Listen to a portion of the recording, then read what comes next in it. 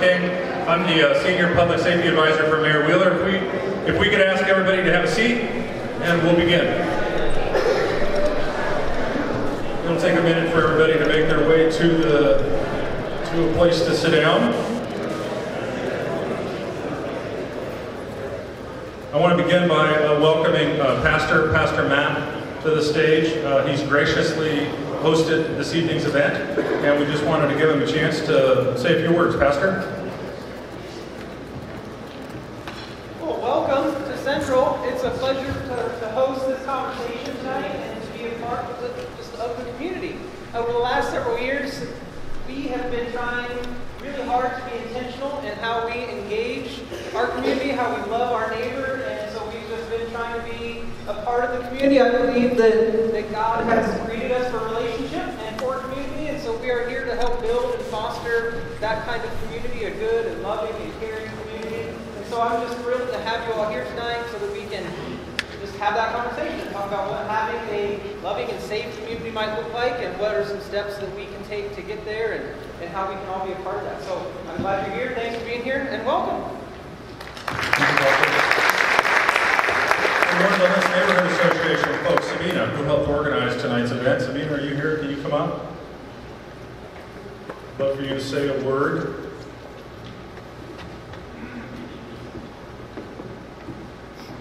Thank you. Welcome, everyone.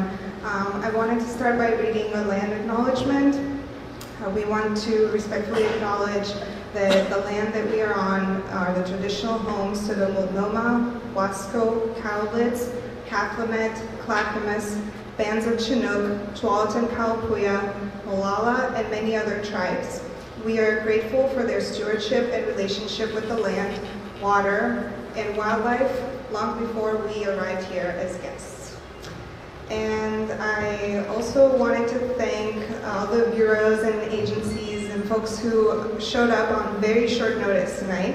Uh, Portland Water Bureau, thank you Anna and Corbett, Oregon Department of Transportation, thank you to Tiana, Civic Life, thank you for bringing your team, Stacy, Daniel, Steve, Cassandra, and Mary, the Office of Youth Violence Prevention, Tom, Bureau of Emergency Communications, Bob and Chelsea, um, the Winter Bike Skillshare, Mike, the Bureau of Emergency Management, Devon. Uh, thank you to also our um, Public Safety Chair, Robert Schultz. Uh, I want to thank all the volunteers who are here to make this possible, uh, the seen and unseen ones, all the ones that are holding it down for us at home so that the rest of us can be here, um, and everyone else who showed up just because they care about their community. I think it's important to recognize the power dynamic of uh, some of the people who joined us tonight who get paid to do this, whereas the rest of us who have come um, simply because we care.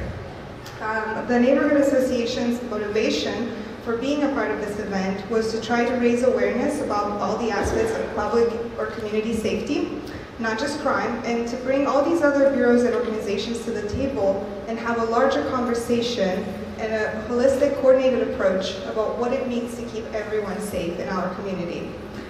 We want to recognize that when we talk about community safety, we should talk about the safety of house people, but also unhoused people, homeowners, renters, people living on the street or in their cars, people who have a physical address or no address at all, people who have IDs, don't have IDs, people who maybe don't speak English, uh, people of all ages, including the youth, and vulnerable people, and people of color who often, often don't feel safe around the police. Everyone's safety matters tonight and every night in Lents, and hopefully now that all of us here in the same room together, we will um, have a better idea of who to call next time we need help, whether it's someone from the city or maybe one of your neighbors. Thank you for being here.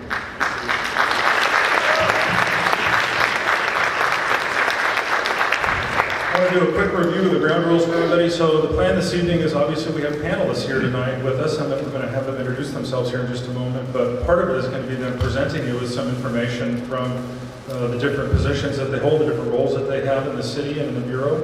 And, um, and then we're going to have question and answer. And Pastor Matt and I will have microphones and we're going to be out um, gathering the questions from you. So just a quick note on ground rules. Um, Take space, make space, be aware of how much or how little you speak. If you're speaking more than other, others, make space for others to share. If you're not speaking much, encourage yourself to share. Uh, it's okay to disagree. Challenge ideas, but not people personally. Tonight is not, events like this are not a debate. We're here to provide you with information, but we're also here to have a conversation because we want to hear directly from you what your thoughts are, what your concerns are, and how we can collaborate and work better together. Uh, one speaker at a time. As I said, the pastor and I will have the microphones and we'll make our way out to everybody in the audience so that everybody that's here tonight will have an opportunity to ask a question or make a point. Uh, no name calling, stereotyping, or making assumptions about other people. Um, talk about everyone with respect and dignity. Respect each other. It says on here, especially your facilitator. So I don't know why that's on there, but anyway, uh, facilitators. And uh, but active, um, engage in active listening. You know, be here tonight and just really hear what it is that's being said. We're coming tonight with information, solutions, a resource. You have your city and county representatives here tonight who serve you and who want to be helpful and want to be responsive to you um, in your neighborhoods around the concerns that you have about your home, your family, your business. Um, tonight, just we ask that you uh, offer solutions. If you're, if you're, what does success look like? Offer it through that perspective and through that lens. There's a lot about the conversation we're going to have tonight that can be frustrating, but you have people that are here that are doing the job every day on your behalf, and we want to know how we can better serve you. And that comes with you helping us by offering some solutions. We'll have solutions we're going to share with you, but we'd like to hear from you as well. Uh, stick to the topic on the table. The topic is a broad one. It's really crime, safety, livability for East Portland, Lents in particular. Um, and we all here tonight share responsibility for making this uh, work. And with that, I'd like to start by doing an introduction of everybody that's on the stage.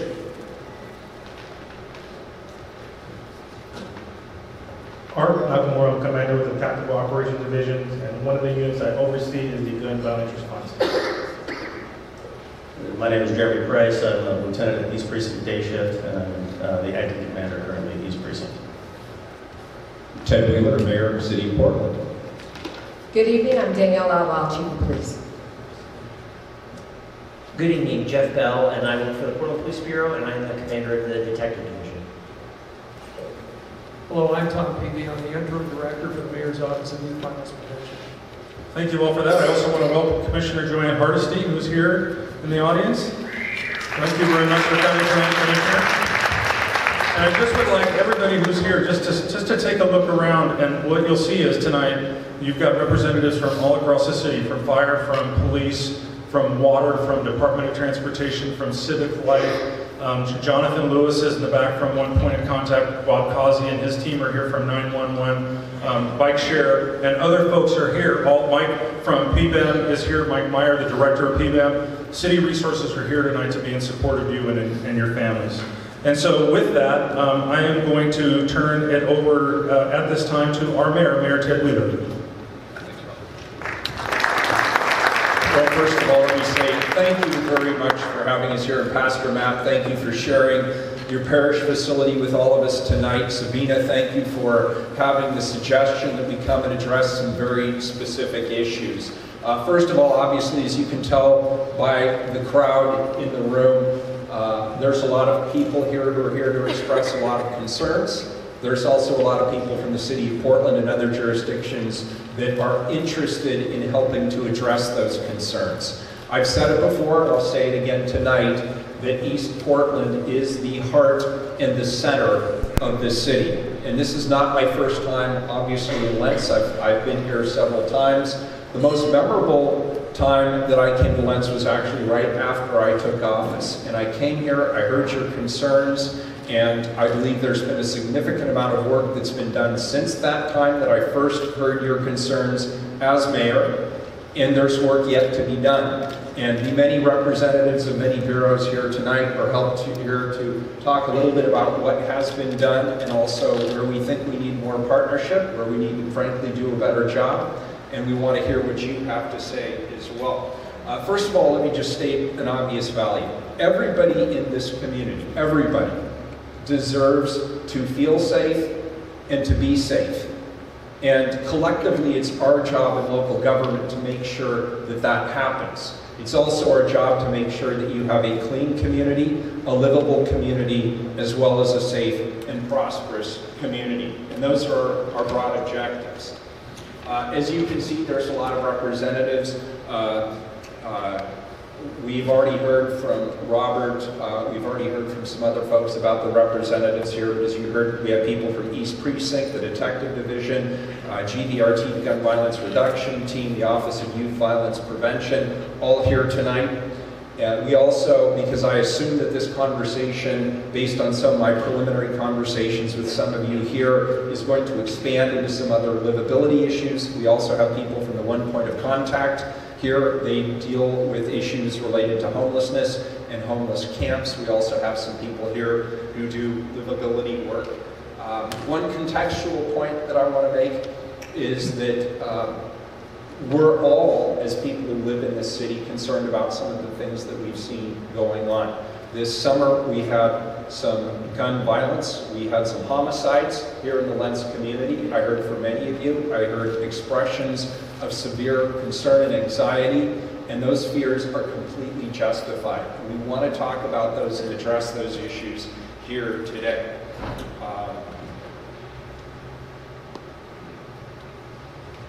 In terms of some of the work that's been done, uh, obviously in the last budget process, we continue to strengthen and support the gun violence reduction team. I'll let them speak for themselves about the work they've been doing.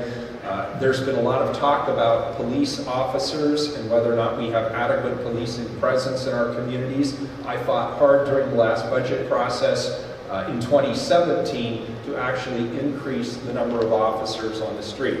I secured funding from my colleagues on the City Council. Uh, we are in the process of uh, recruiting new officers. We have people who are already going through the training process and it continues to be a top priority for me to make sure that we have adequate police presence in our community. We also uh, worked very hard uh, to clean up ODOT properties. We worked hard with our state partners in ODOT. We uh, got some legislation passed during the last long legislation that allowed us to enter into a memorandum of understanding with ODOT so that the city and ODOT could work on maintaining and keeping those right-of-ways clean and accessible.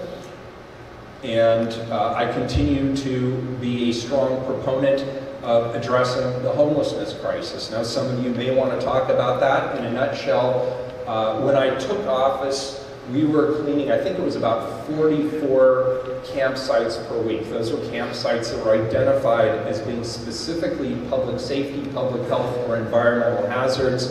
I believe in the last quarter we cleaned something like 800 of those camps that were prioritized as public health, public safety, or environmental hazards. So we've obviously increased that function.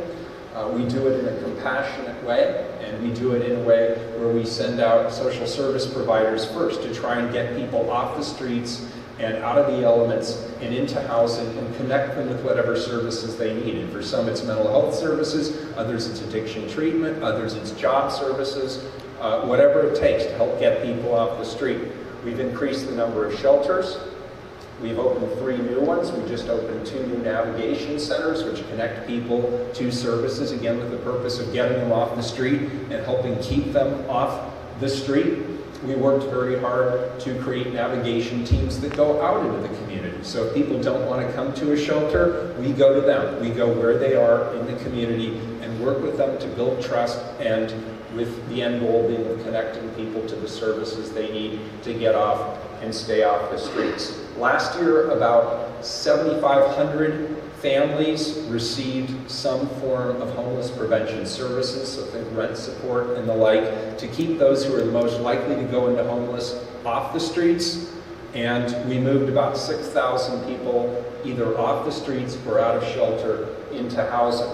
And those are just some of the things we're doing. I'm working with Commissioner Hardesty on a new approach to addressing crises on our streets. I think we can all acknowledge that we have an addiction issue in this community. I think we can all acknowledge there is a mental health situation in this community that, are, you know, that aren't being addressed as effectively as they could. Uh, and too often, it's the police who are asked to respond to people in crisis.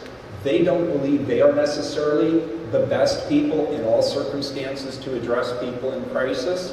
And those who are advocates and supporters of those on the streets who are in crisis don't necessarily think a police officer is necessarily the right person to be that first responder. So Commissioner Hardesty and I and others are working on something called the Portland Street Response, which will connect those in crisis on the streets with mental health providers or other social service providers who are specifically trained in crisis management, and the police would only be there if it is truly a public safety related situation.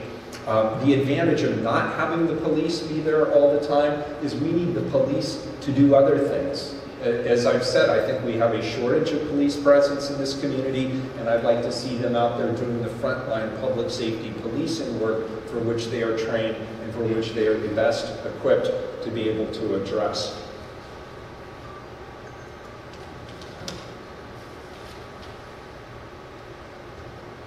Uh, finally, I, I want to just mention addiction services. The city typically doesn't get involved in things like addiction services and mental health. Uh, but I've decided I'm going to take that upon myself, and my colleagues on the City Council have decided to take a higher profile around addiction services and mental health issues because we're seeing more of it on our streets. And I was very proud, Jo Ann and, and others, that the City Council this year agreed to put funding into addiction treatment services directly. That was a first for the City of Portland, and you are going to see me talking more about the need for on-demand addiction treatment in our community, and you're going to hear more from me about the need for us to work with our county and our state partners to fix the mental health delivery system in this state. For too long, we have been near the bottom of states in terms of access to mental health services. We're the fourth in terms of addiction nationally, which means Oregon has very high rates of addiction but we're about 47th to 50th, depending upon which score you look at in terms of actual access to addiction treatment in our community. And that's certainly exacerbating some of the issues we see on the street. I, as mayor, cannot just push that off and say it's the county's responsibility or the state's responsibility or anybody else's responsibility. If we're going to solve these problems, then it is incumbent upon me and my colleagues to reach out and provide the leadership that needs to be provided in those two areas. Um, last but not least, I just want to say this. I made a commitment to you when I came here as a newly elected mayor. And I told you that it was important to me and that I would not see myself as successful in this role as mayor until the people in this community felt safe, until the people in this community felt like their neighborhoods and their community was livable and that they would not feel satisfied until their community lived up to the reputation that it has as being a livable and clean and prosperous community. It's a work in progress. We're not there yet.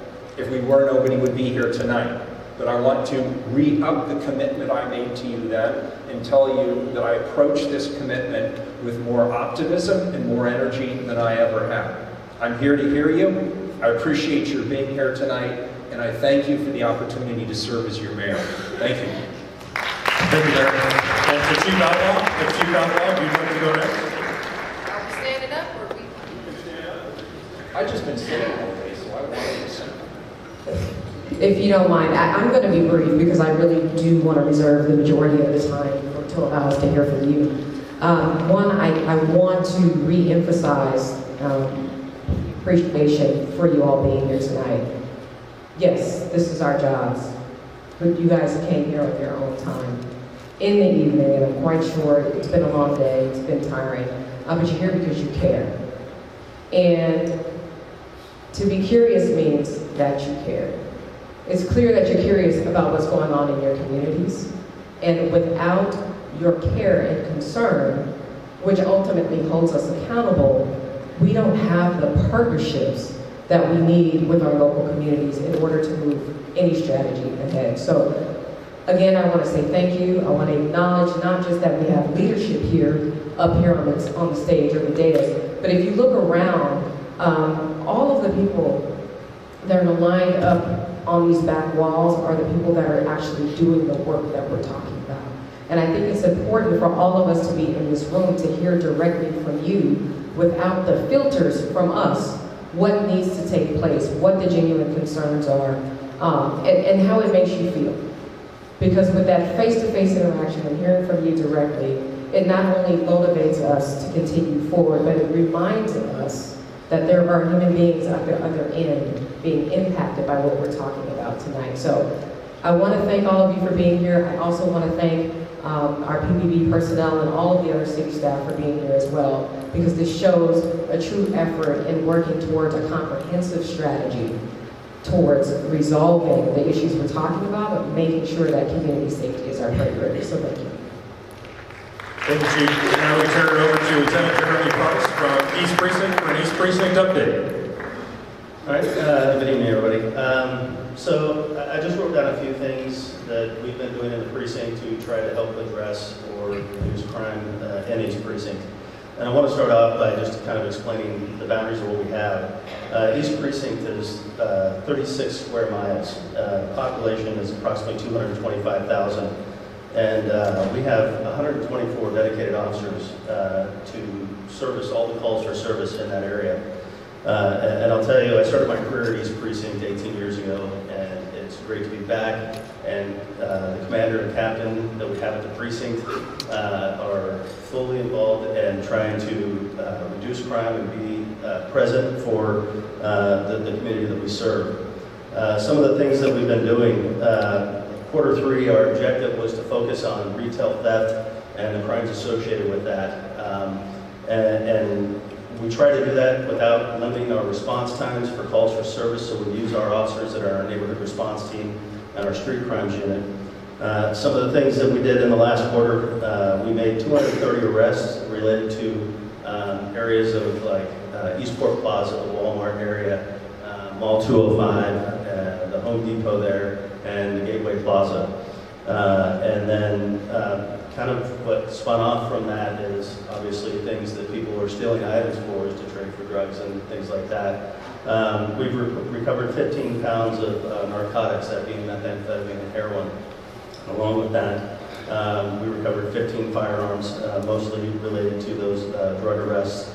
Uh, we actually just re- recovered another uh, seven firearms this morning uh, from a search warrant that we did. And then we seized over $30,000 uh, uh, related to those drug offenses. Going forward into quarter four, uh, and I think there'll be a lot of questions uh, surrounding this, uh, is the the spike in gun violence that we've seen. Uh, East Precinct alone uh, experienced uh, a 22% increase in shots fired calls.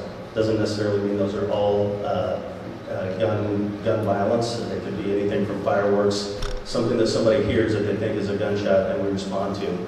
And our focus is going to be on reducing those shots fired calls, uh, increasing our presence in the neighborhoods and uh, the visibility uh, that we have out there, and uh, be more present in neighborhoods experiencing uh, gun violence. So that is going to be our focus going into quarter four. Uh, and like I said, we have some of the most dedicated officers that are proud to serve East Portland. Most of them have been out here for as long as I've been with the Bureau. We have a lot of new faces. But uh, with the limited numbers that we have, we're, we're going to focus on uh, what we can in this quarter and, and continue to try to provide the best service that we possibly can. Thank you, Lieutenant.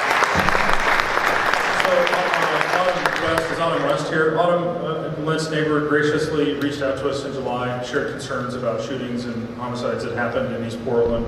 And that was, We're using a lot more data and technology to do investigations. Every shell casing that's found on the street, every gun that's recovered, goes straight to our office where we process them to look for evidence. We track the guns, track the bullets. I think this year, correct me if I'm wrong, we've collected and processed over 2,000 casings on the street. That means two- over 2,000 casings or 2,000 rounds have been shot. Doesn't include uh, revolvers and certain firearms, but over 2,000 gunshots.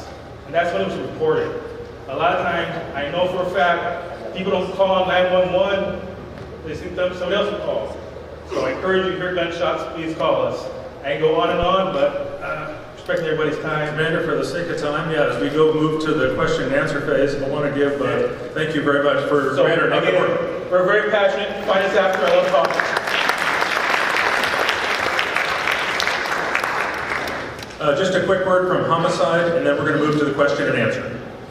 Uh, So again, um, Jeff Bell, Commander of the Detective Division, and I really appreciate being invited out here tonight.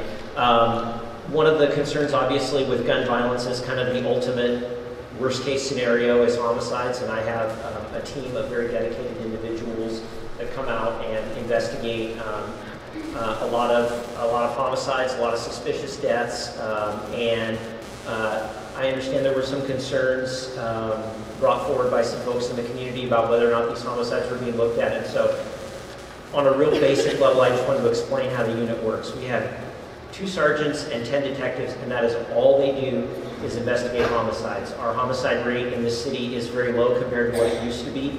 Um, two to three times what it is now, uh, back in the uh, 80s and 90s.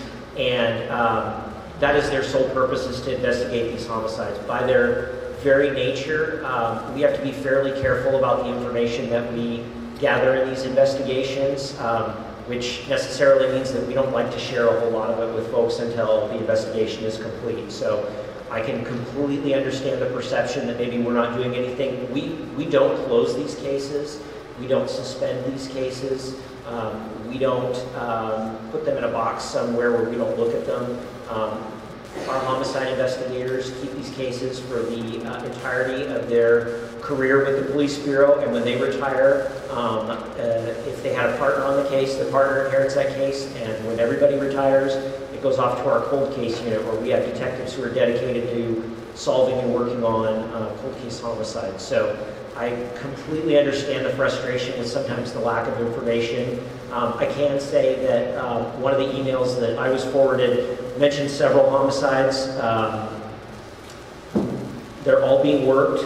Uh, they're all being actively investigated. Uh, with the exception of two of the most recent ones in this area, all of the other homicides, we have enough information to be able to say that uh, none of them are linked to each other. The, the two most recent ones uh, were done by the same same person, um, and actually, Commander Nakamura talked about our technology. We were able to link those crimes by um, uh, determining that the casings were both fired from the same gun. That person is in custody.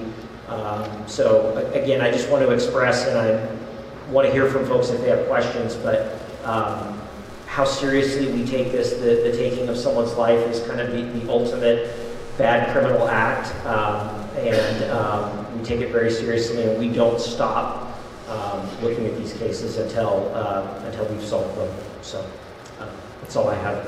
Commander Bell, thank you. Okay, so uh, Tom Peavey is here from Office of Youth Violence Prevention, and in the course of the question and answer tonight, he can field questions. Uh, Pastor Matt and I are going to come out to you, and we just ask that you ask a question or make a short comment. We want to get as many people the opportunity to say something or ask a question as possible. And for panelists, don't feel like everybody has to answer the question get an answer, and then we'll move on to the next person. So I want to, as many hands up as we can, and then we want to get the mic out to you to ask some, ask some questions. Who wants to start us off tonight? I'm Frank Bell, security supervisor for Allied Universal. A little closer, there you go. Uh, I'm a security supervisor for Allied Universal and represent uh, Garrity Property Management uh, here at uh, East Portland. Uh, it's more of a thought than a question, I guess. Um, we're having a problem with crime when homeless move in. Uh, everything goes up.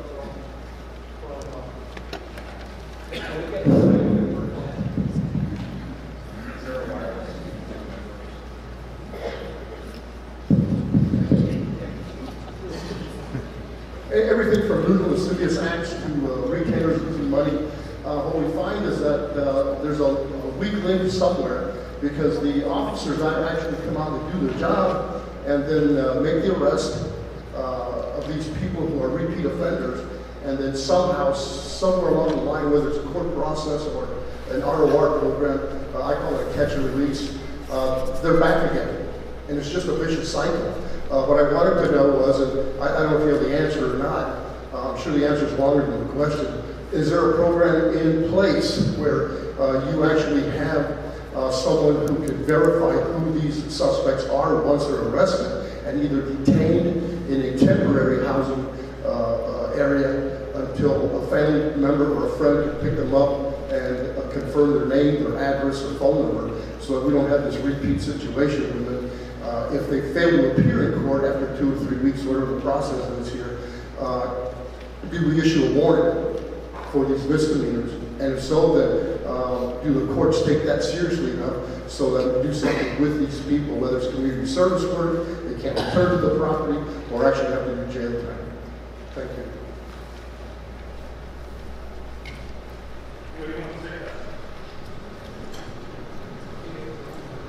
Yeah, I think if, um, from what I'm hearing, uh, obviously when people are committing crimes, uh, whether they're misdemeanor or felonies, um, just like the police bureau and, and most of the other city uh, organizations, the DA's office has experienced shortages as well. That doesn't mean people shouldn't be held accountable. Uh, I, I know that when arrests are made, my officers make the arrest, they lodge people into the jail, uh, and, and it's incumbent upon the complainant to uh, make sure they follow through to prosecute. Uh, and if, if that happens, um, then the case would go in front of a judge, and they would be the deciding factor on community service and things of those natures and treatment uh, at that level. Um, are there cases that obviously don't get prosecuted?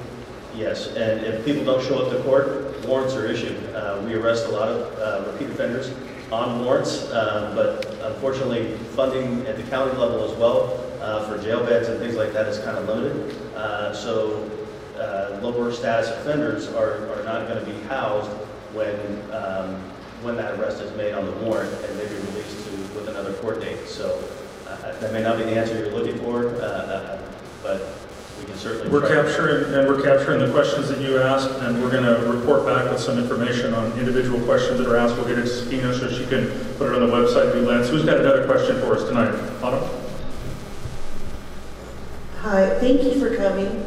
Um, and I hope you'll indulge me if before I ask my question, I wanted to, um, we got, we have to remember that, that we're not, I don't want to just say homicide victims or gunshot victims. We're talking about human beings. And I just wanted to read this list and it, I am sorry if it's incomplete or if I pronounce people's names wrong.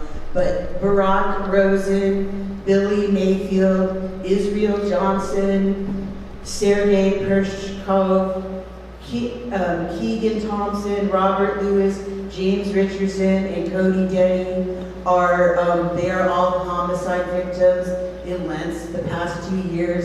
These are, they're, they're not just nameless victims, they're people with names and families. And um, I believe all of them are gunshot victims. Cody Denny was um, actually beaten to death. And I just want to keep the focus that you know, these are people, these are, I don't know them, but they were my neighbors. I don't know why they were killed, but um, I just want us to remember that, you know, they're human beings.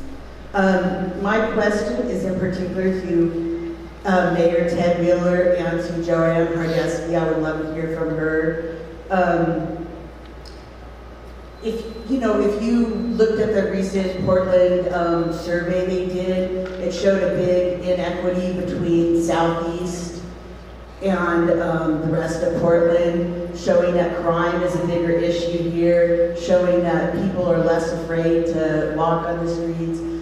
You know, we, we don't enjoy, or we're more afraid to enjoy our parks. So I think there's a big divide.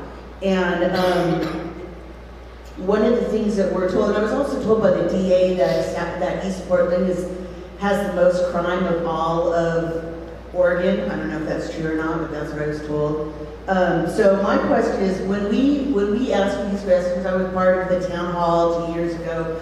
When we ask questions about, you know, why are we getting protection? How come when we call, or we're put on hold and our calls aren't answered? We're continually told that. Um, it's not, it's not in the budget.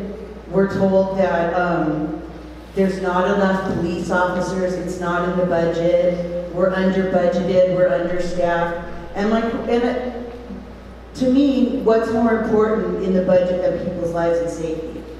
I think that that, there's a lot of things that are important in the city, but people's lives and safety are the most important. So I want to know, moving forward from Mayor Wheeler and from Jo Ann Hardesty and all the council members, I want to know, are you going to make police protection for the citizens a priority in the budget?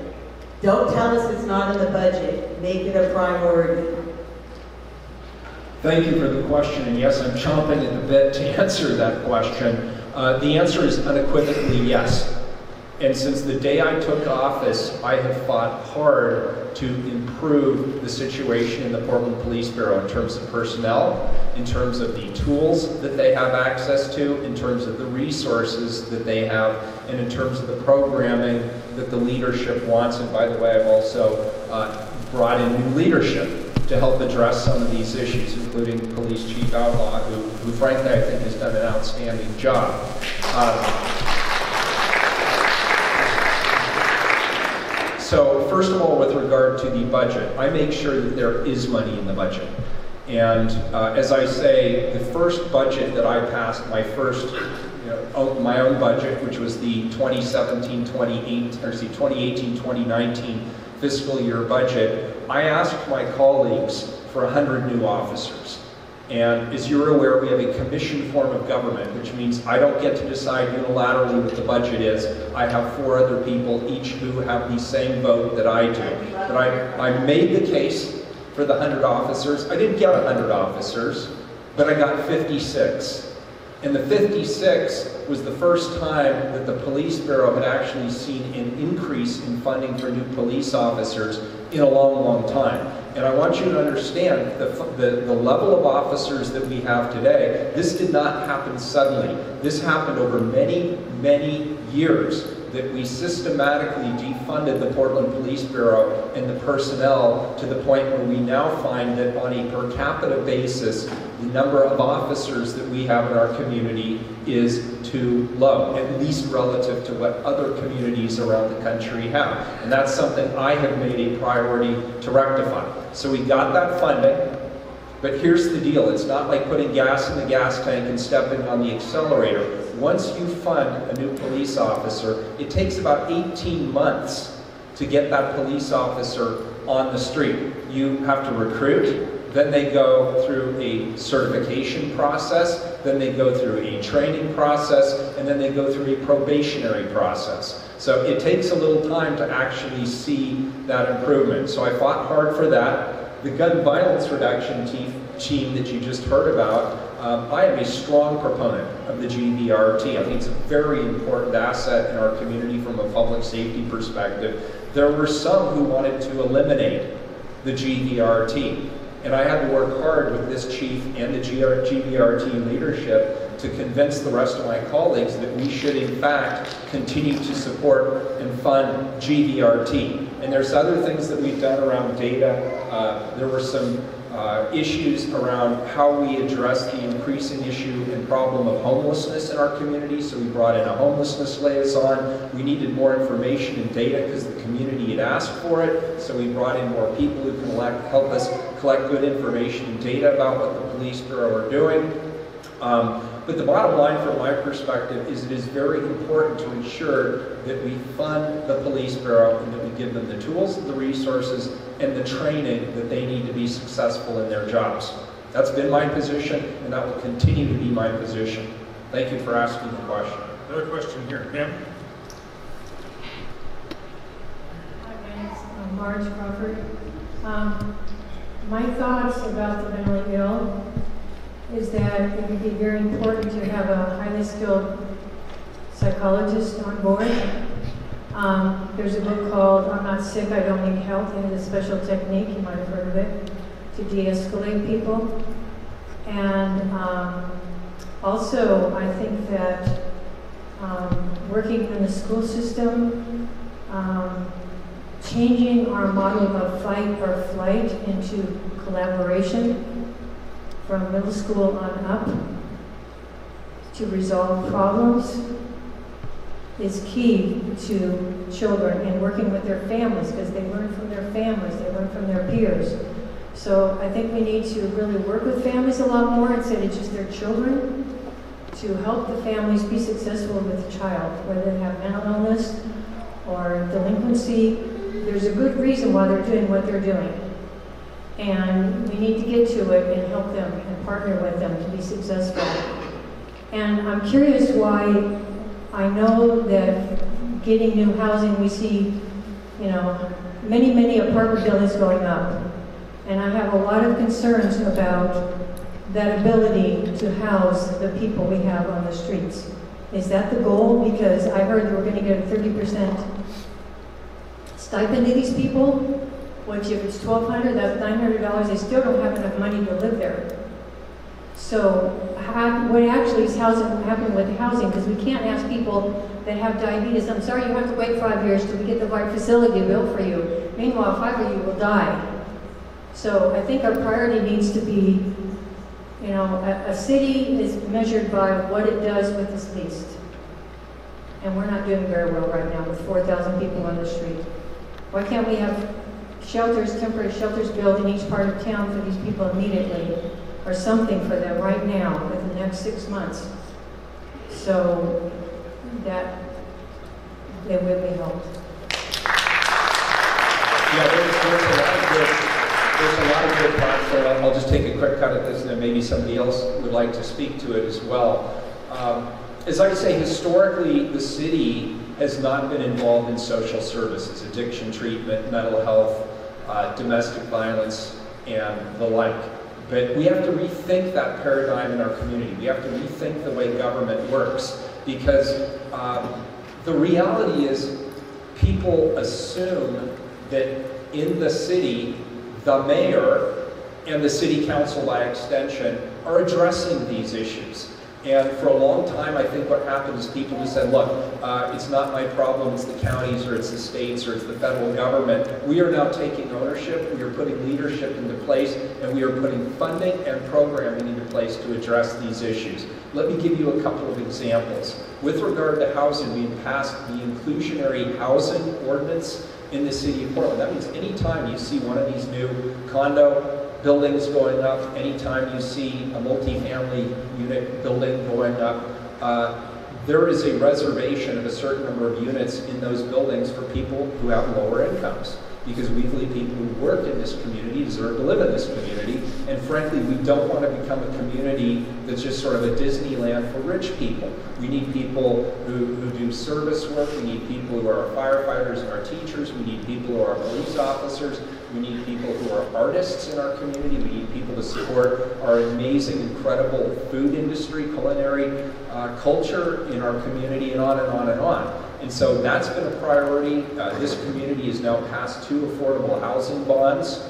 The first housing bond that was issued by the city, my housing bureau is responsible for implementing it. And I'm really happy to report to people that we have already reached the full commitment. We have achieved the promises that that housing bond promised to the voters, and we've done it ahead of schedule, and we actually have resources left over that will allow us to actually exceed the original goals of that housing bond. So I'm really proud of that. And the Portland Housing Bureau, and I happen to be the commissioner of the Housing Bureau, the last two years in a row, those have been record years in terms of production of lower income housing. Now the final thing we're doing, we're actually talking about this at City Council tomorrow, uh, tomorrow evening, tomorrow afternoon, uh, is Better Housing by Design, which is part of our overall home, uh, housing opportunity initiative. This is going to help us to create more kinds of housing and more affordable types of housing in our community. Garden units, duplexes, triplexes, and the like in areas where it's appropriate to do that. So I, I don't see there as being any one solution, but there's a lot of solutions. And then with regard to people that you mentioned on the street, uh, we just passed recently our chronic homeless plan. Uh, you are correct. You know, what's implied in your comment is there are people who are living on the street where even if you had a place to house them, they would not be successful in that housing without some additional kind of support, whether it's mental health addiction, uh, whatever kind of additional services they need, they won't be successful without it. So the best practice nationally, what we know works, is what's called supportive housing. So it's housing for low-income people combined with support services to help them stay in that housing and be successful in that housing. We have committed to 2,000 new units of that permanent supportive housing, and we had planned to do that over a 10-year period. We're already 650 units in, and we're a year in. So we're making good on that promise, Jim. I don't know if anybody else has. Thank you for the question. Thank you, Mr. Mayor, and uh, for being here tonight. Um, I'm an 88-year-old veteran of the East Side. I was born and raised here. And I tell myself, what's happened to this lovely East Side of Portland? Just look across the street and you can see what's happening with the homeless on the freeways. We have property uh, next to Chuck E. Cheese and McDonald's, and about two and a half acres. and uh, over the past year, we get complaints from the neighbors. We try to keep things, uh, debris and whatever they leave. And, I mean, do we have to do that in the city of Portland? Have the city come and pick these things up? And the other thing is, we have Chuck E. Cheese next door, fun place for a young kids. They're going to have to put a fence around their parking lot because of the homeless and the garbage that they continue to leave. And why do we have to do that? Well, why do we have, why do we have to do that in, in a, a clean, nice city like we have in Portland? And the other thing is, it's just like these shopping carts that the homeless have. Aren't they property of the businesses in Portland? Why do you allow that to uh, uh, let them have the shopping carts? And anyway, those are a few questions I have. And uh, thank you for listening to me. And uh, thank you very much.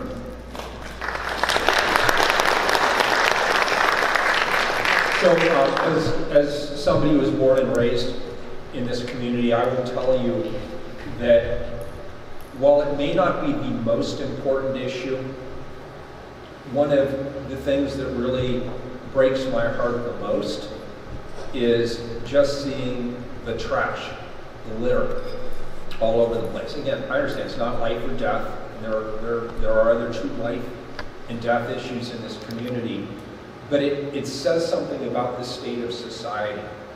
You know, you, you've been here long enough, you remember the old days where if somebody threw a coffee cup or something on the ground, you know, a, a little truck would come by and people in white hazmat suits would jump out and pick it up, right? I mean, it just didn't happen. You know, it, we, we were known as one of the most livable cities in the world, justifiably. And now, you know, if you drive in from the airport down I-84, um, to be honest, it's an embarrassment. And so I have taken it upon my administration and made it our responsibility to address things like litter cleanup. We've partnered with organizations like SOLVE, some of you may have volunteered with SOLVE, and we created the Keep It Pretty Rose City initiative, We're in every single neighborhood, including Lents, we now have volunteer pickup days where people go out. It's a sharing experience, and it's also an opportunity to reclaim the values of our community.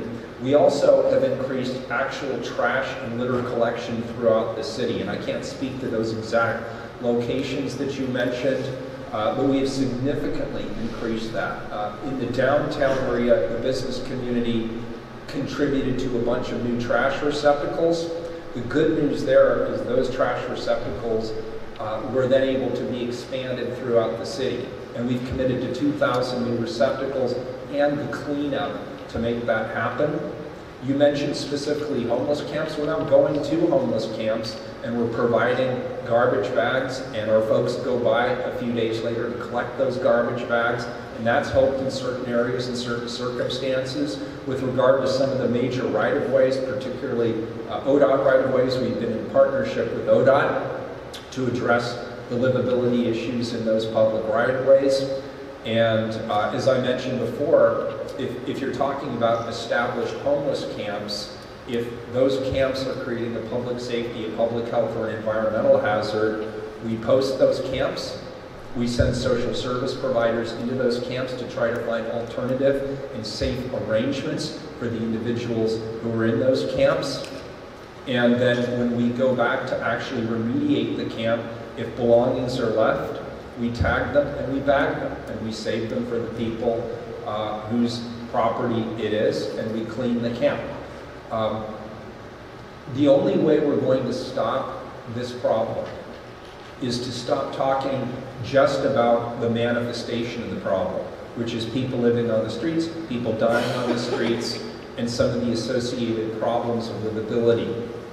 The way we solve the problem is go upstream and address what got them onto the streets in the first place. For some people, it's economics. They've been priced out of their housing. For others, it's more serious issues. Um, we don't really have a very good safety net in this community or in this state for people with serious mental health issues. We deinstitutionalized mental health at the state level several decades ago, but we didn't replace it with anything at the local level, and we still haven't. And we also know that nationally, especially up and down the I-5 corridor, we have an addiction crisis. It's meth, it's heroin, it's opioids, and uh, as I said right in my introduction, um, we're you know, third or fourth in the nation in terms of addiction rates per capita and about 47 in terms of access to treatment. Until we address those issues head on and fund it and support the solutions, we're going to continue to have to deal with the manifestations of the homeless crisis. I'm determined that we will continue to work hard to provide the services we need to get people off the streets and keep them off the streets. And because it isn't just Portland, we're working with other cities all up and down the West Coast to collectively address this crisis. It's a really important issue. And I thank you for your forbearance and your patience.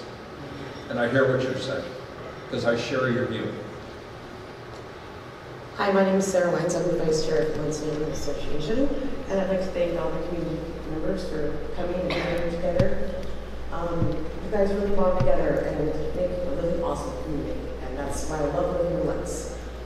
Um, I'm a single parent. I became a single parent due to personal horrible issues in my marriage.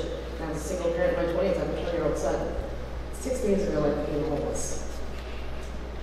Last night, I was going to sleep in my car with some friends go through maybe your room. And I'm a capable woman. I'm college educated. I can network. I have resources. I have friends. I'm smart. I can't imagine what it's like to live on the streets and not have those skills and try to get out of what they're doing because I called places, I called churches, I called 211. I was told to go to Washington County and register for their pilot program to sleep in my car with my six-year-old. Sleep in my car with my six-year-old in November. I was appalled. I called every place looking for a shelter. There was nothing available. I want to know what I can do to help my community and help this situation because I know I'll pull through through this. I, I will. I'm a strong person. I'm smart, and got all the great people here that I've depended on and have depended on me. And I want to know what we're going to do to fix this because it's ridiculous and it's scary and it scares me.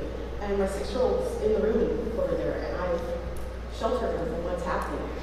She's gone through domestic violence and her dad being addicted to drugs and alcohol, and it's been hard for her. It's been hard for me. But I have to shelter her. Her safety comes first. My safety, her safety, my health, her health, my happiness, her happiness. But what about the people out there that aren't capable, who don't have college education, who can't network, who can't communicate? How are they going to get through this?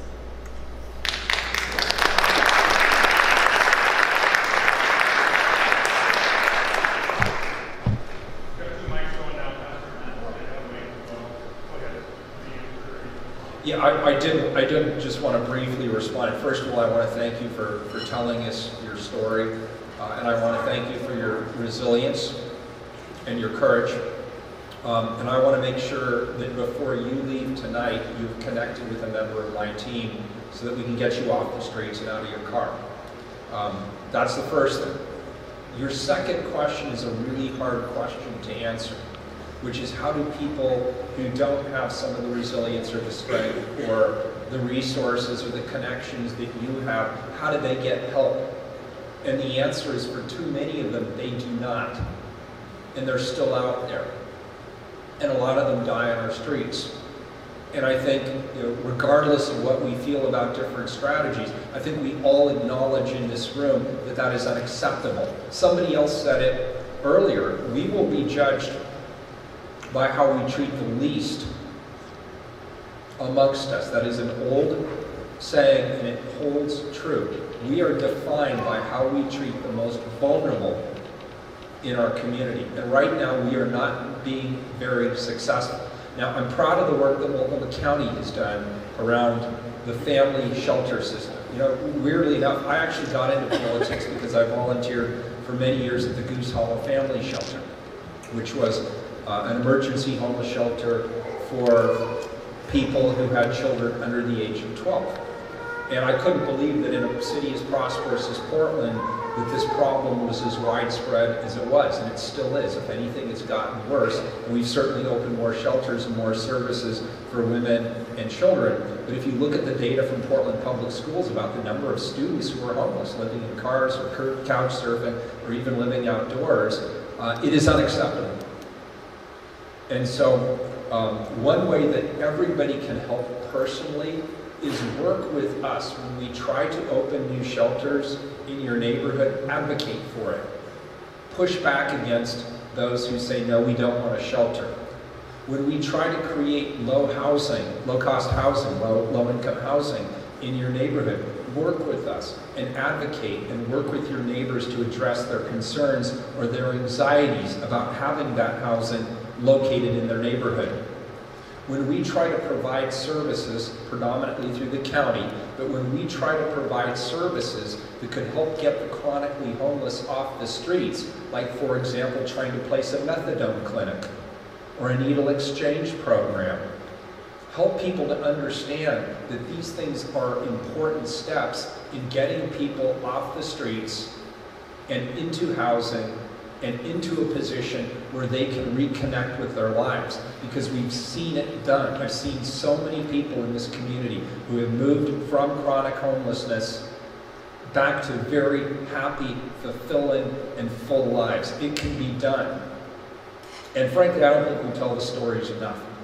And so you being here today, sharing your story about where you are, um, I look forward to the next time I see you, and you can tell the story about where you are now, which I hope is in a warm, dry, safe, and adequate housing situation for you and your son. And I, I want to make sure. Yep. So um, let's let's get you hooked up. Um, who, who, who from my teams? Ah, in, in the back. Can you make sure you connect before the end of the evening? Thank you. There's questions in the back too, along the wall. So, my name is Jennifer, and I just met Sarah not that long ago. Um, and I'm sorry, Sarah, No, didn't know that that was happening. Okay, so maybe we'll connect later after the talk. Um, I just want to quickly just run through my story. I grew up as a homeless youth, went to Portland Public Schools. Um, my parents both were on um, drugs. They were both, um, my dad was put through the uh, justice system, and then um, my mom never been arrested for the crimes that she committed. Um, no one believed me as a child. So I want to piggyback on the woman who stood up earlier and said something about it starts in middle school, because that's when I was criminalized in middle school, because I was crying in my classroom and a teacher decided, a security officer decided that it was time for me to no longer be there. Thank goodness that I had a head on my shoulders and I was educated, which goes back to her point of having an education where I was able to come out of that. Um, I grew up in Northeast Portland, plenty of gangs. Bloods, Crips behind my yard, um, shooting. I was, you know, one of, I was traumatized child. So what I decided to do, and which I encourage other people to decide to do too with their children, is educate them to be social with each other, to treat each other better, to treat, each other better. Um, to treat each other better and do social change. We sit here, you know, we talk about the homeless. some of the homeless out there don't even want to get off of the street. Some of them are comfortable where they're at. I don't know that percentage. I don't know if you guys have actually engaged with a homeless person, but I took it upon myself to go ask about 30 homeless people, what brought you here to the street? Why did you choose to do this? Um, some were, you know, actually from prominent families that owned a lot of properties here in the state of Oregon.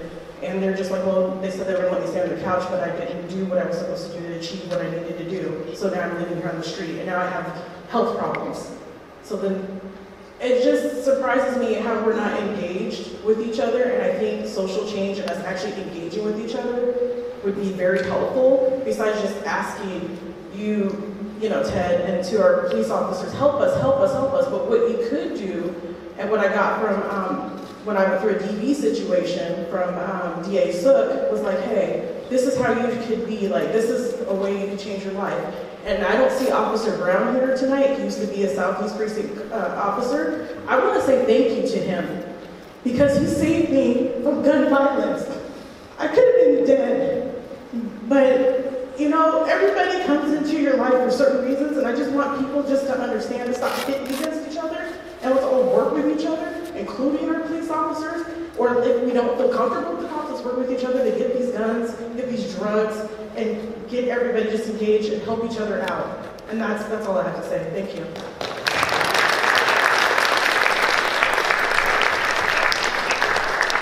Could, could we get just a, a real quick question, maybe 30 seconds, a minute? I'm going to pass it around two or three people. Yeah, go ahead. In the back, in the back. Show me a hand in the back. Victoria?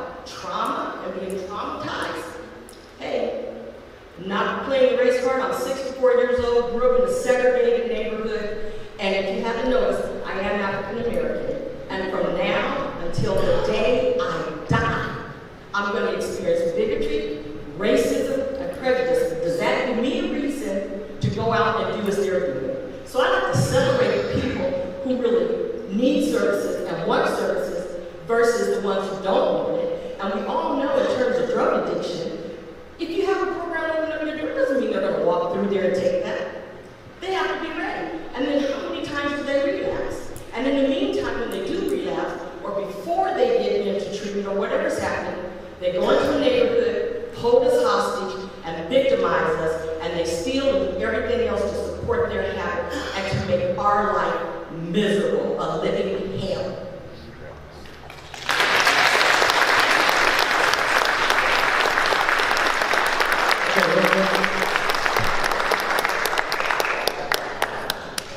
Robert, Yes, go I'm- ahead, Chief. Hold on just a second. Chief wants to respond. No, I just wanted to acknowledge your comment.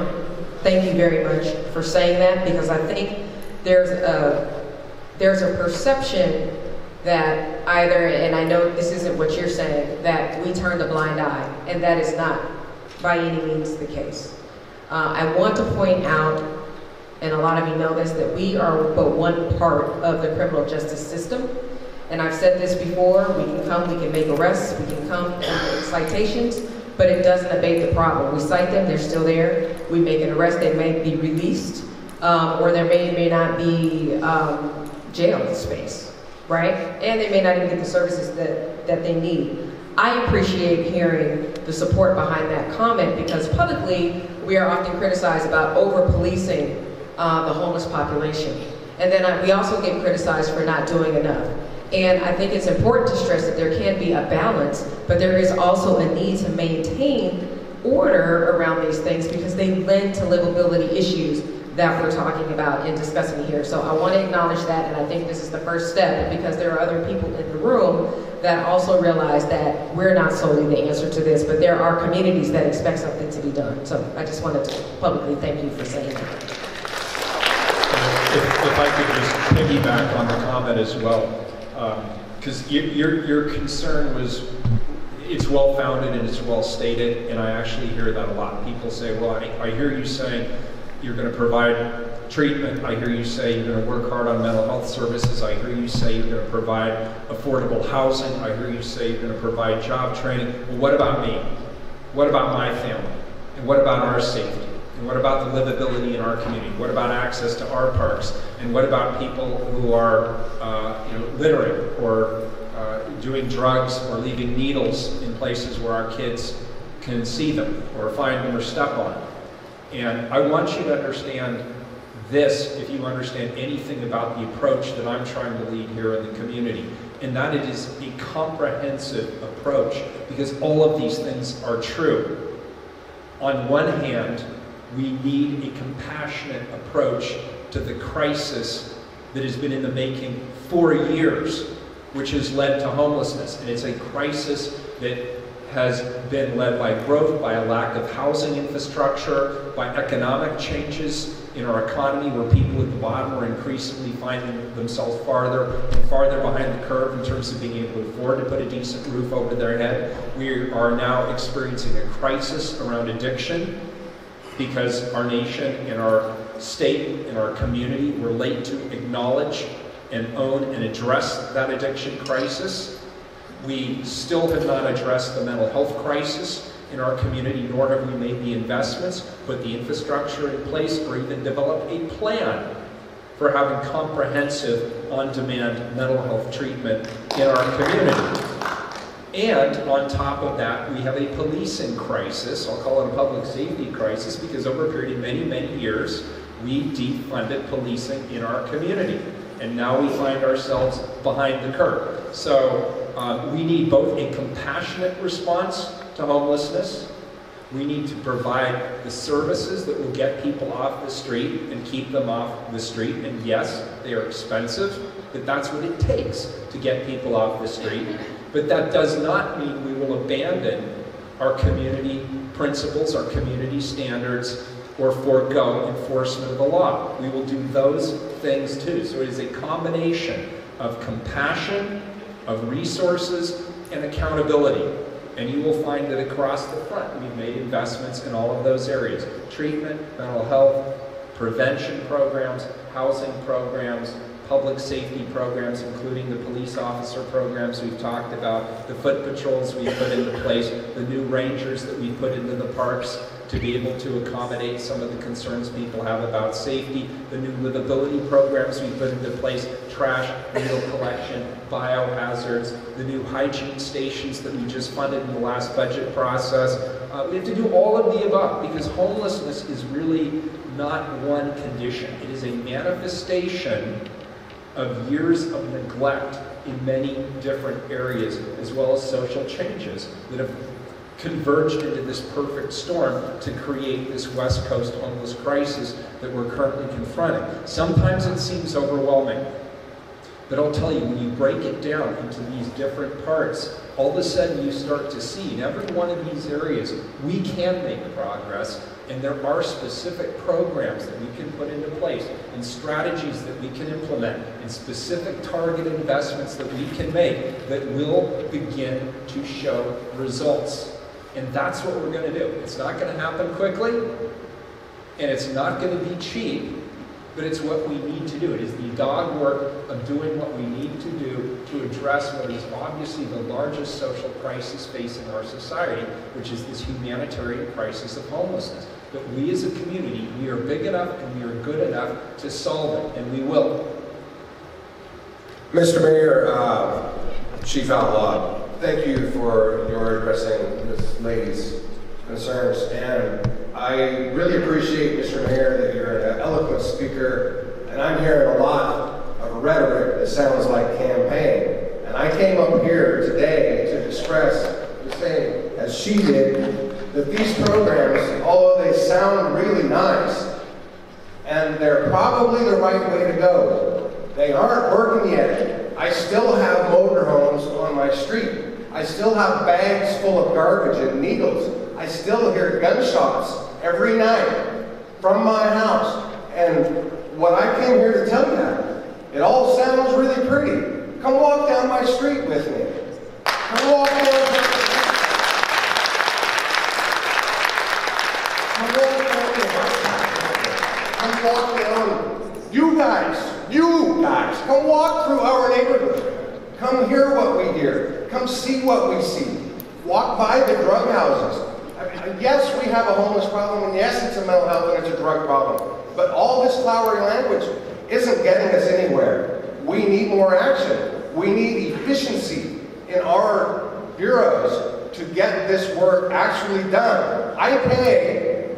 I want to see work done. I'm a builder. I build homes. And I work all over this city. And I see the way other communities are treated. And then I come home to Lents.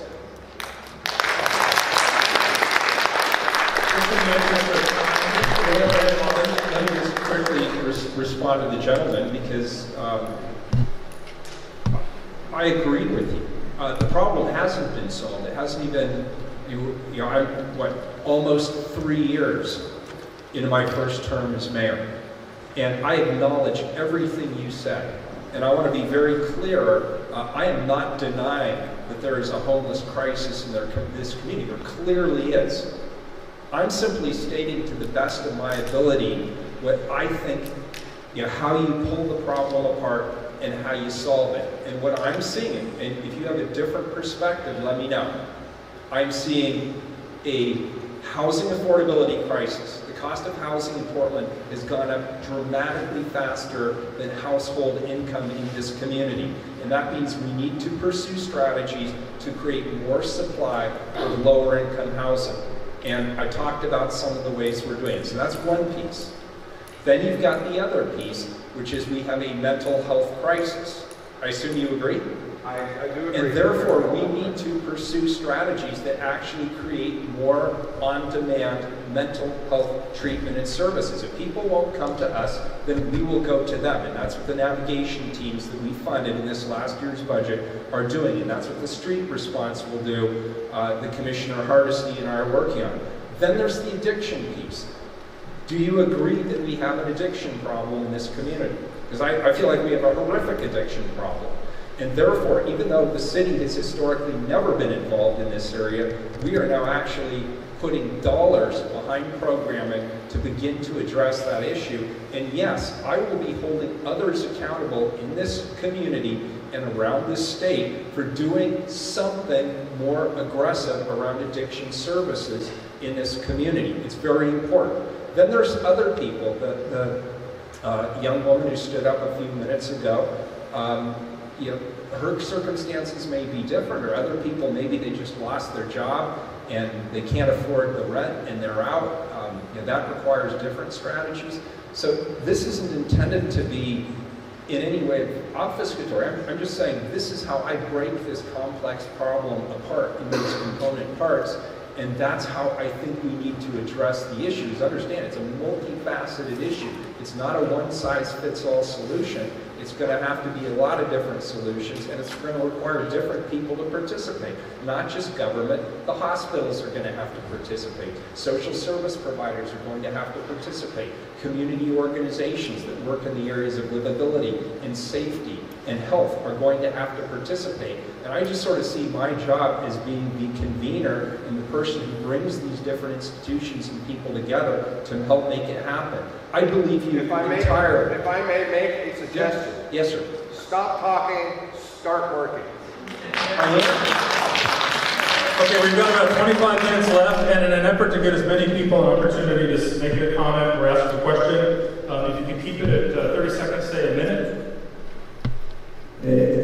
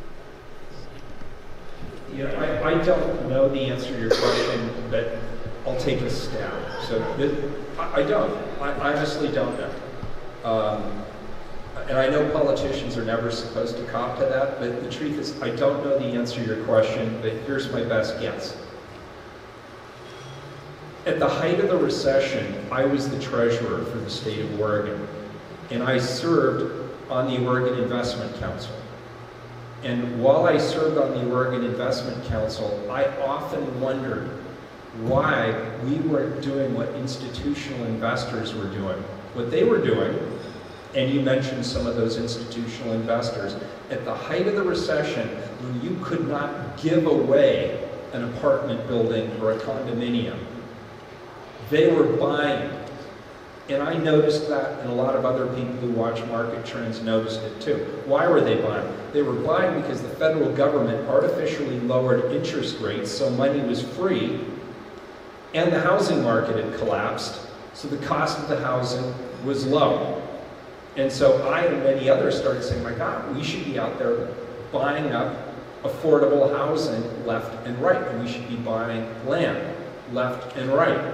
Because someday the value will go up. Um, you know, those private equity firms that you mentioned, they are opportunistic.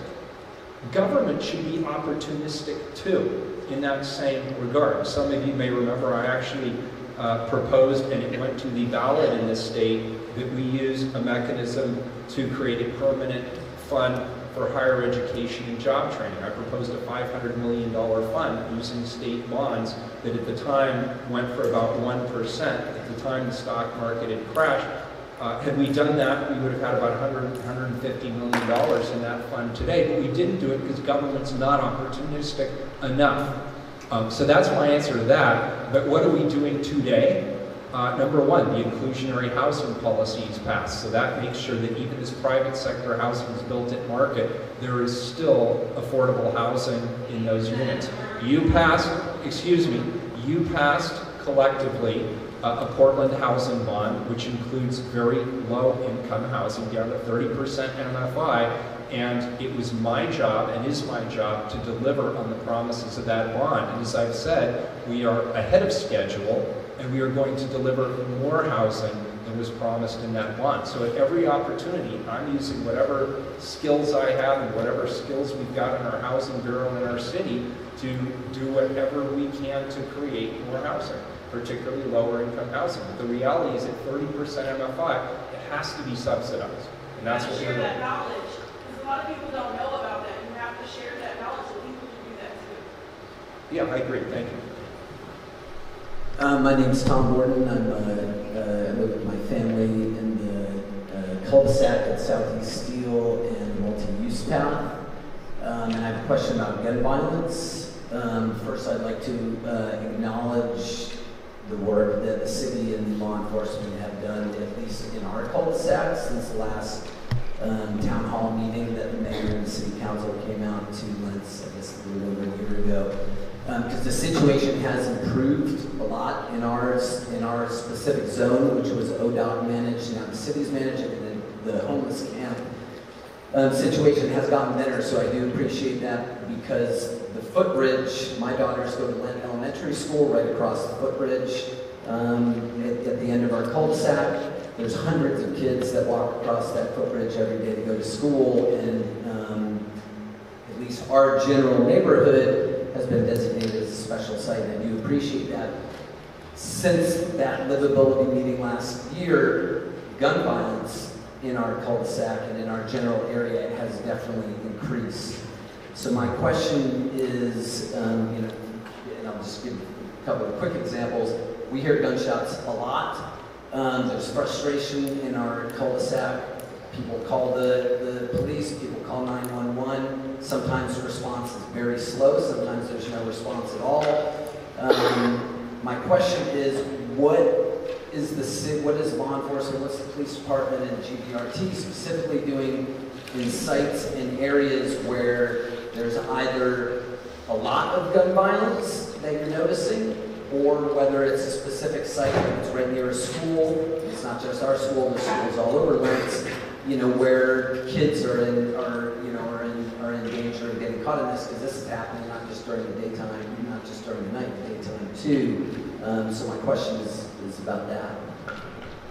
So it- that's, so it's a very detailed question. Uh, We work with partnerships. Again, once you call 911, that means the incident already occurred. So we use data, we look at calls driven, and a lot of folks, you think call 911, they don't.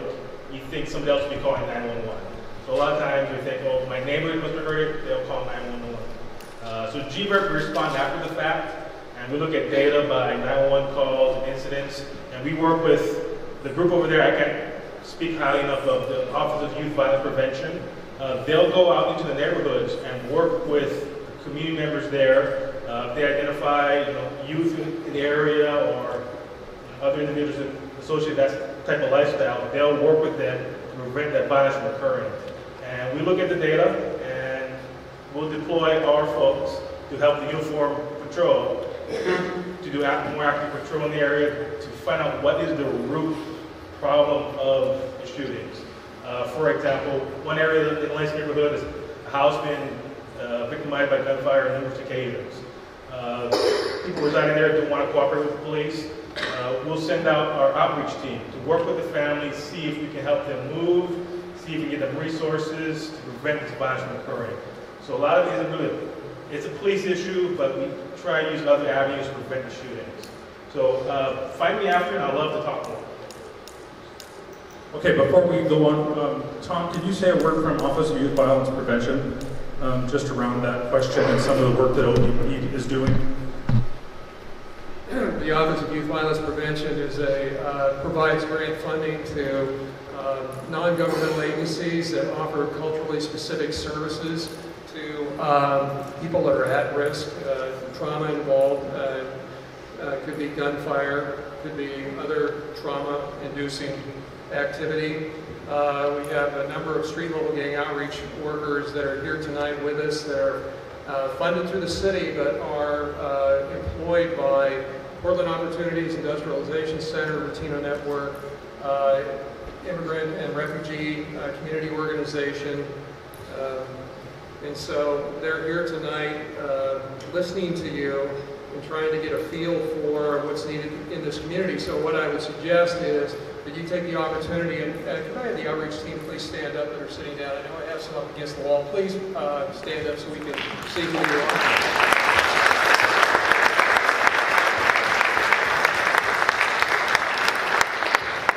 If you have any questions about services that are available to the street level gang outreach team, uh, they're here tonight. and We also have our gang impacted family team coordinator who actually works as a hub between the police bureau and all services that are connected to the county and the city to be able to route requests through our office to be able to uh, deal with uh, housing uh, relocation, uh, referral services that are needed by families, youth, and people that are experiencing trauma. Tracy Aliat, could you raise your hand? And, she is our gang impacted family team coordinator, so please see her. There's information on that back table, uh, right directly back. Somebody's got their hand up back there. Uh, information on what is provided through the Office of Youth Violence Prevention. It's actually the Mayor's Office of Youth Violence Prevention. So thank you very much. And Tom, we have an announcement to make uh, around our new director, boss. Do you want to introduce our new director who's here with us this evening? Would you like to do it, Tom, or just say a word about? Go ahead, Tom. Is Nike? Yeah, she's here. Oh, Nike, where are you? Nike Greene. Uh, Nike Greene is, uh, has been uh, selected as our new director. Nike, could you please stand up? please? I could not see you, so. uh,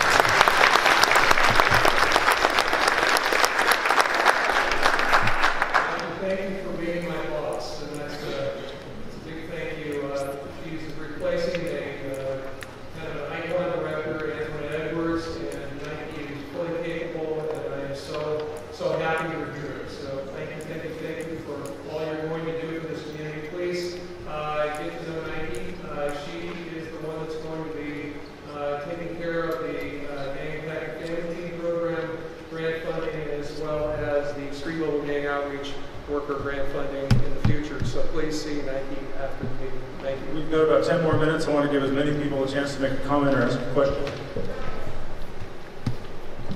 I'll come to you next, ma'am. Your Honor. Uh, First thing we'd like to do, we're from Eastport Plaza. We run operations, uh, management is here, we're representing the ownership of Eastport Plaza, which has been part of the Lents community for 50, 60 years. First thing we'd like to do is thank every police officer that's in this room and the ones that are not in this room for your support, your partnership, your commitment. We love you guys. You always have our back when you can. And we just want you to know that we appreciate you. It's an impossible thing. Plaza is an economic engine for this neighborhood. We have tenants that have small businesses there, services that can't come from anywhere else. People come from all over the place to, to take part in those services. Yet we have a crime-ridden property. We spend a third of our operating budget on security, yet crime continues to rise. We spend another third on that, uh, of our budget, on the maintenance of the property, yet the needles, the machetes, the, the, uh, the drugs, the prostitutes, they continue to come to the property. They continue to uh, be a blight on the experience of the property. And when we pass those costs on to the tenants, what happens? The businesses become unsustainable. So because of the situation, we have put an entire economic engine in the middle of the Lents neighborhood at risk. When we call the police, it's nearly impossible for them to do everything they need to do. While we love them, it's nearly impossible. We have, we have people with machetes on the property, and because of overcrowding, because of other situations, the only thing they can do is take the machete away and send the person along. They may get arrested, an hour later they're back on the property. We have homeless camps around. The, we, we trespass, and we have over a thousand people in our trespass book. And here's the thing that really pains me. We have people that work hard every day to clean up the property, to maintain it. These people live in this community. They work hard to pay a mortgage, to, to support the community. They get stuck by needles. They're put at risk every day. Our security officers are assaulted.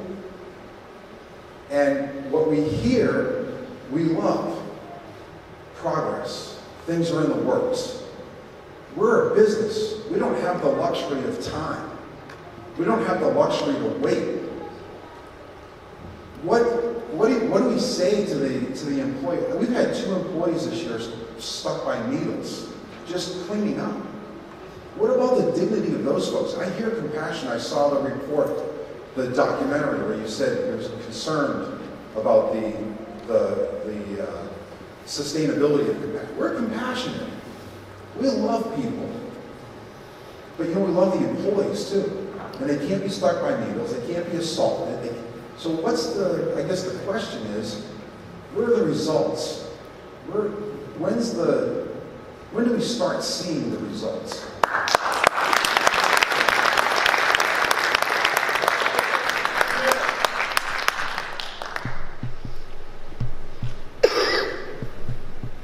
I've been a landlord here in Portland for 20 years, and nobody does it better, and certainly not for 425 including bills.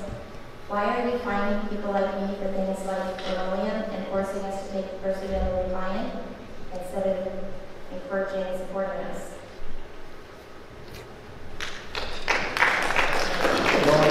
Robert, it's really hard for us to hear. I, I don't know why that, or it's, all we're getting is your Okay, we'll do. You actually walked out of last time I tried to ask you a question, but I've been a landlord for 20 years in Southeast Portland. I do rooms for rent. Nobody does it better, and certainly not for 425 including bills like I do. Why are you fining, inspecting, and forcing people like me to take the first available client?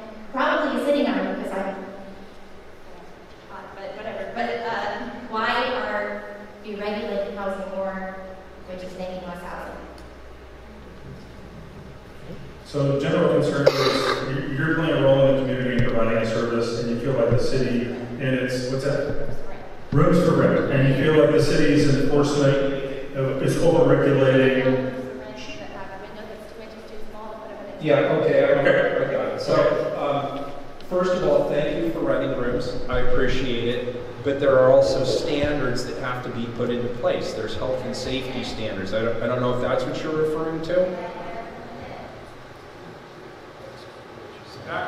She's saying like it- it's better than a tent.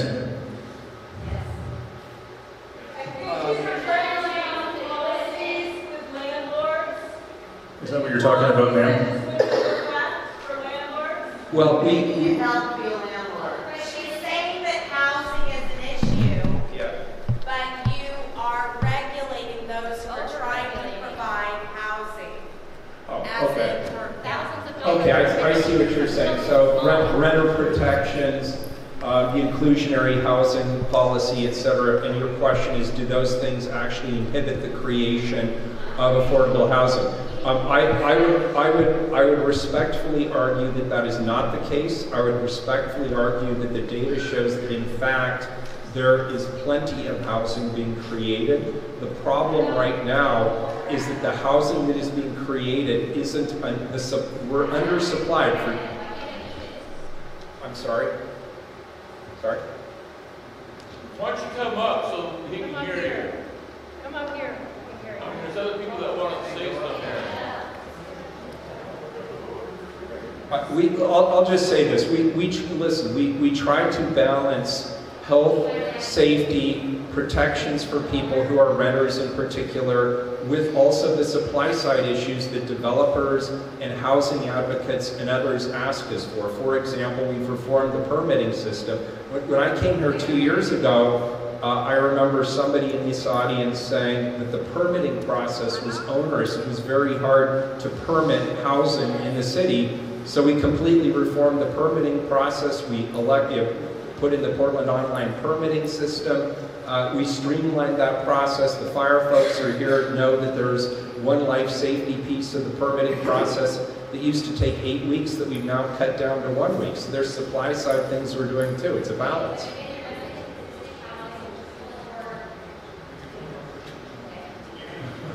He's talking about the clothing rules of not allowing landlords background checks and forcing landlords to pay people to move and stuff like that, where it's making it more difficult to be a landlord. Where she's rent- Where she's renting rooms, and I know where she's renting rooms to the low income people that no one else can pay.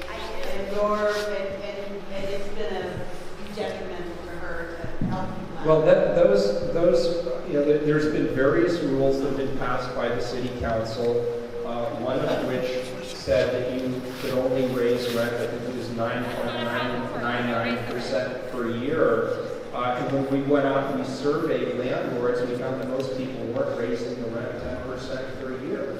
Uh, and if you are raising the rent ten percent per year, uh, that's way ahead of the market increase in terms of cost.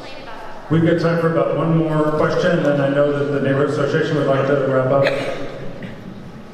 My name is Susie Ho. I own the small business in Lents Park here for 37 years. It's getting harder and harder to run a business here. The government treats those people so well, and then they think they can come in the store, they took whatever they want, to we own it. Why can city work out a program, say, teach them how to work? So we have we have workfare instead of welfare. I see people. I, see people. About 37 years in the store, from beginning, they use EBT. 30 years later, they still use EBT. Now the kids use it, grandkids use it. If we have a program to teach them how to work, how to respect the job, instead of sit at home, wait for welfare. We have to pay for all those. Well, good. You know, and then the more, more program you're going to put up with. Can I ask you, who's going to pay for it? Is city going to pay? Or should we, as the business owner, pay for it? I understand about the ladies park problem. We, my employee, have to deal with the people every single day. We have, we will try to clean up the garbage can, stuck in there, the needles in there. I am get hurt like this. How can you help and pro- protect the people who are at work instead of people on the street? That's my question.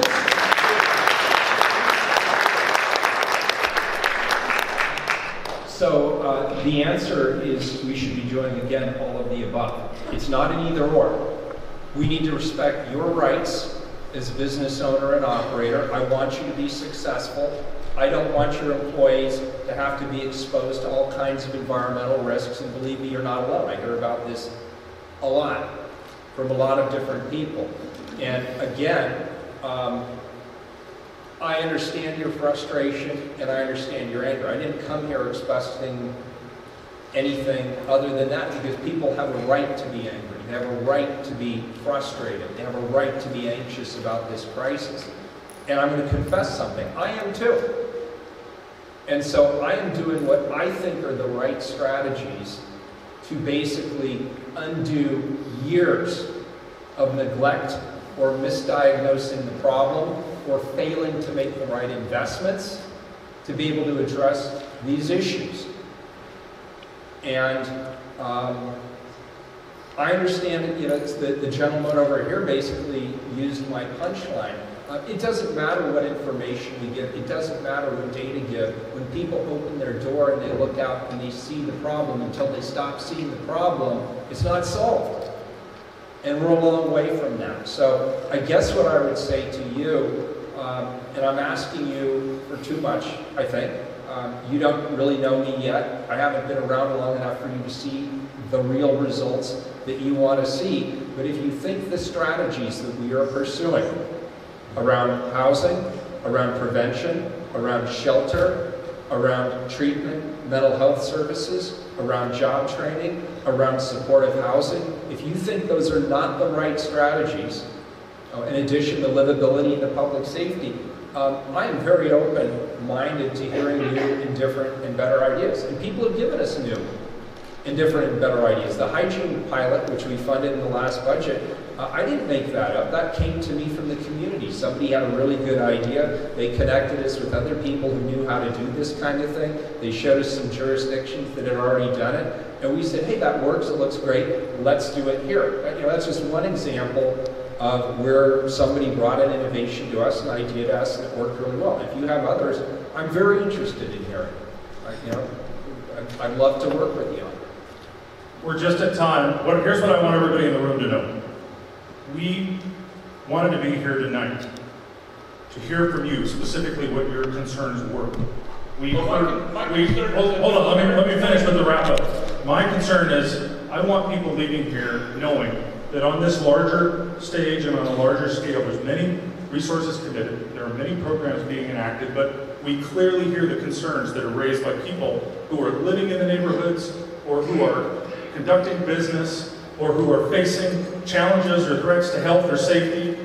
Don't leave here tonight. Get, get my card, get other representatives' cards. We had the Montavilla Neighborhood Association meeting about two or three weeks ago, and out of that, we have been following up with questions and concerns that have been raised. Some of you have very specific things you haven't been able to ask, or you want, or you need done. So we want to do both. We want to provide strategically on a larger scale for the concerns you have about your neighborhood, your businesses, and your community, but we also want to help you with the assistance of the district attorney, with the uh, Bureau of Transportation, with Johnny back in the back from One Point of Contact, with Civic Life, with 911, with all of the folks that are here to support you. I hope you, I hope you leave here tonight knowing you have been heard, but it's not enough. We want to follow up and follow through with you specifically, in addition to all the encouragement and all the things you heard tonight about things that are being done on your behalf. So with that, I want to thank everybody for coming tonight, and let's uh, do a round of applause for everybody. Thank you.